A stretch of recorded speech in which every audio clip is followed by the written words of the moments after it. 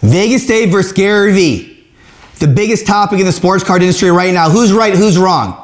Remember, it was me three years ago that predicted the market would boom. And now I'm the first person in the world to tell you this market is going to collapse by the end of 2024. I'm going to be right and Gary's be wrong. Watch this video and find out why.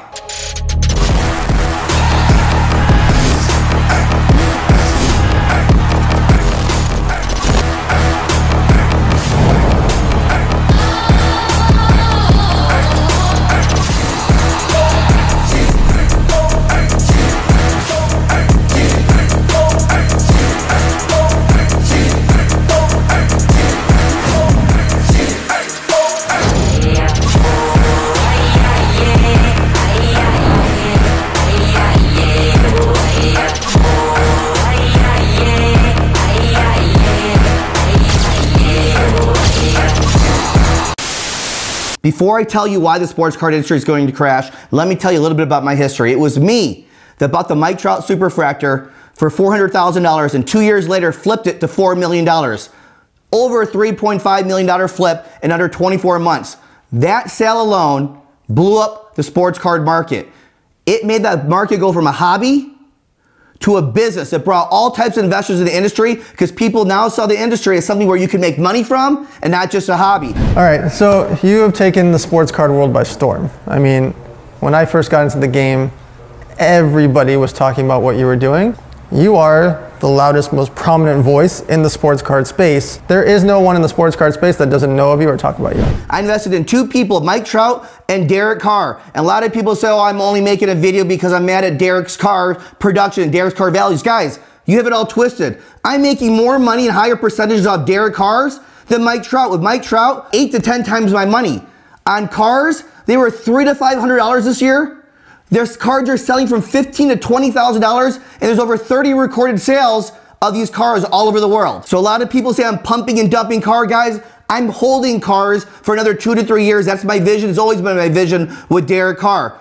Let me tell you, I want to save this market. I want to save this industry.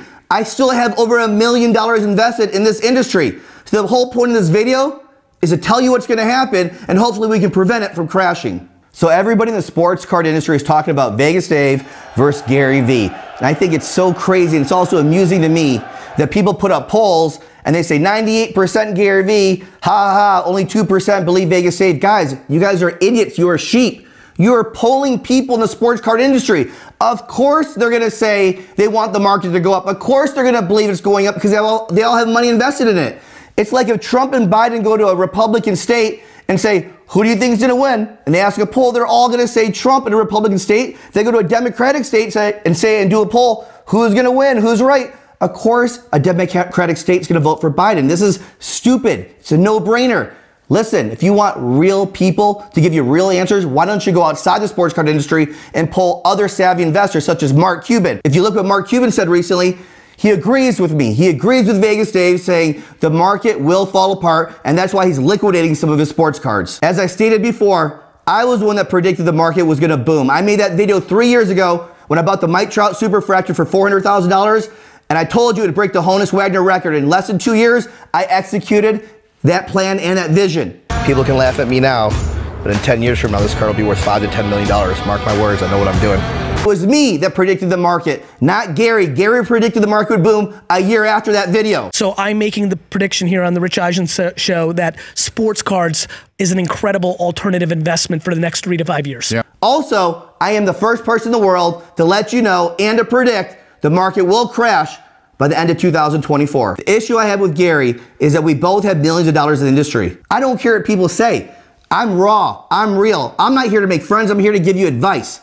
Gary can't tell you now after pumping cards every single week and every single month, uh, it's going to crash, get out. It's like me selling picks to you and saying, buy my picks, but they're going to lose today. He's not going to do it. So the difference between me and Gary and the issue I have with me and Gary, he says he's real, but he's not real. Gary, I know you're watching this right now. You're brilliant. I'm brilliant. Real recognizes real. You know the market's going to crash. We both know it. When you lay your head on your pillow every single night, you know Vegas Dave is right and you're wrong.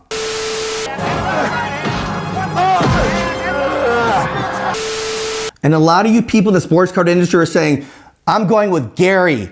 Gary hasn't been wrong yet. Let me remind you, not only has Gary been wrong, every entrepreneur has been wrong. But don't forget, Gary was wrong on Uber and Gary was wrong on Netflix. I was gonna buy unbelievable amounts of Netflix stock three years ago. I didn't call him back, never did it. I passed on Uber twice. Had I wrote a $25,000 check into that company like I did the other companies, it'd be worth $300 million. And Gary's gonna be wrong on sports cards too. And here's another issue I have with Gary that I don't agree with. He's predicting the 86 Fleer Jordan's gonna hit a million dollars. He's wrong. It's gonna go for over a million dollars, 1.2, even more. And all you sheep in the industry are going to get excited because you think the market's exploding, but you should be terrified. So this Vegas Davis Gary Vee issue came upon because I made a simple post on social media. The market will fall apart by the end of 2024, just like the subprime mortgage industry did. Within minutes of that post, big auction houses, big dealers, big investors asked me to take the post down. Why? Because they agreed with me the market's going to crash, but they said it's booming right now they want to make as much money as possible. These are the same people you guys are praising for making the market flourish and bringing the market to an all time high. But they're playing you guys. You're praising them and hating me for telling you what they don't want you to know that the market's inflated, it's going to crash. The reason why this market's going to crash is from overly inflated prices on certain cards. Let me give you an example. The Michael Jordan rookie, the Steph Curry rookie. Steph Curry National Treasure rookie was $20,000, $30,000 two years ago. He didn't even play last year, and his car just sold for $980,000. Does that sound right to you? Michael Jordan's 86 Fleer rookie, 30 grand, 40 grand for years. The last dance happens, jumps to 100 grand. That makes sense. Then it goes to 200,000, 250,000, and this last week it goes from 250,000 to 730,000. Does that sound right to you? Let me ask you guys a question. If I'm 160 pounds for three or four years straight, and I leave social media for a month, no one sees me. I come back a month later. I'm 240 pounds, shredded, ripped, at 4% body fat. What are you gonna think? You gonna think that's natural? Or you think these muscles are real? You're gonna think, no, it's steroids, growth hormone. Something unnatural happened to cause my body to change that fast in 30 to 60 days. Same thing with cards. How can you think these are real card prices that are going on in the industry? What I'm gonna share with you next, only a small group of individuals know about this in the card community. These individuals are causing the inflation of prices, and these individuals are what's going to cause the industry to crash. I'm trying to protect you guys. Remember, I still have millions of dollars invested in the industry. I want to protect the market. See, when the pandemic hit last year, the stock market started to fluctuate. And at that same time, my Mike Trout rookie sold for $4 million. People from the stock market industry now saw the card industry not only as a hobby, but an opportunity to make money. So they had to diversify their portfolio. So you started seeing real big money coming from the stock market into the card industry. You would think all this big money and new money coming from the stock industry into the card industry was a great thing.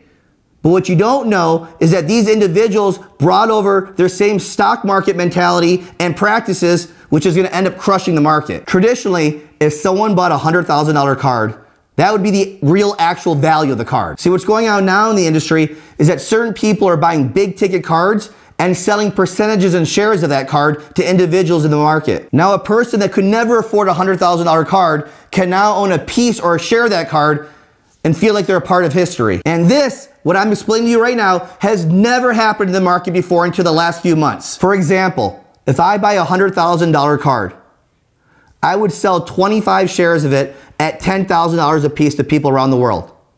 Just like that, the car goes from 100,000 to 250,000 and I make money. Once I receive my money, I then put the card for sale online, but I have one of my friends or buddies in the small community buy that card for $250,000. And what happens? The whole industry gets excited. Card value more than doubled. The investors get paid back their money. Everyone's happy. The card market's booming. And they repeat this over and over and over again. Sounds amazing, right?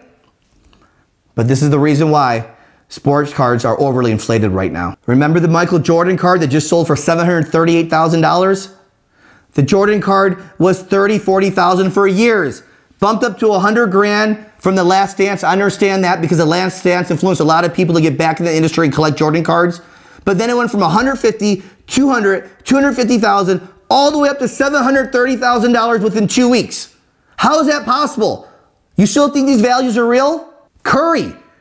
Curry's card was thirty to forty thousand dollars for years as National Treasure rookie.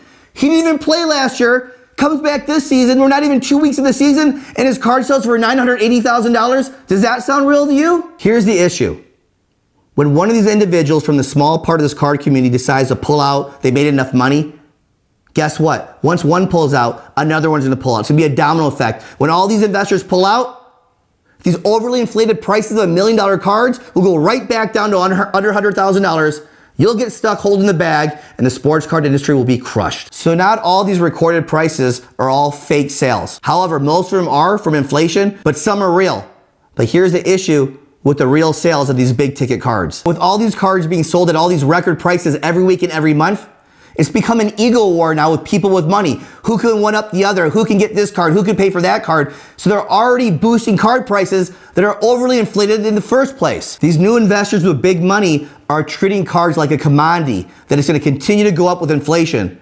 But they had never been around to see the ups and downs of the sports card market. They haven't experienced cards losing value and dropping in prices. Now, some of these sales are real, but the majority are inflated. Now, I know a lot of you are going to tell me that you saw in person cards at your local sports card shows sell for four or five thousand dollars that were once four or five hundred dollars that you saw with your own eyes. So you have to believe these sales are real. Yes, those transactions are real, but what you're missing is what's going behind closed doors that the whole market's inflated all the way from the top. So it's bringing all these card prices from the bottom all up to mid-level to high tier prices. Again, the whole community is affected by the people at the top, that small community selling shares of cards, inflating the market. How can you tell me that a Kobe Bryant rookie just sold for $500,000 this week and it was never over $100,000, even at the pinnacle of his legacy when he passed away? How does that make any sense? How can you tell me that a Mahomes rookie is really worth 800,000 plus when it took over a decade before Brady's rookies hit over $800,000. That makes absolutely no sense. A guy that's been playing two years is going to surpass prices of Tom Brady, who's the GOAT? That makes no sense at all. And this is all caused by inflated prices in the industry. And one final card that I have personal experience with Fernando Tatis, the dumbest investment in baseball. You're telling me a Fernando Tatis rookie Red refractor out of five, sold for a quarter million dollars. I bought my Mike Trout red three years ago for $180,000. How can you tell me Fernando Tatis, who played one season during a pandemic, 60 games, how it's worth more than the Mike Trout red refractor that I bought three years ago? Trout was playing for almost a decade, the best modern day player in the history of baseball. 180 for his red refractor, Tatis a quarter million. How does that make any sense? Wake up, people. These are all artificially inflated prices. Wake up. And with this big surge in the market, you now see athletes, celebrities, big time influencers getting involved in the market and the industry. All this does is just add credibility to the sports card market. An average person that looks up to a celebrity to see that celebrity buying cards, that average person is going to follow lead and jump in the sports card market. The whole market is hot right now because all this influence coming in. At the end of the day, all these prices and all this buzz is caused by those artificial sales at the top no one's talking about. And right now, all sports are being affected by this trickle down effect. Now you're seeing people invest in all types of sports tennis, golf, even Pokemon. Pokemon is garbage. That's the worst investment you can make. And also, stickers. This is a Michael Jordan rookie sticker. This is going for $55,000 right now. This was a couple thousand dollars for years. You know what I think about this? This is what I think about this. And this is what's going to happen in the sports card market. It's going to burn, burn, and burn hard.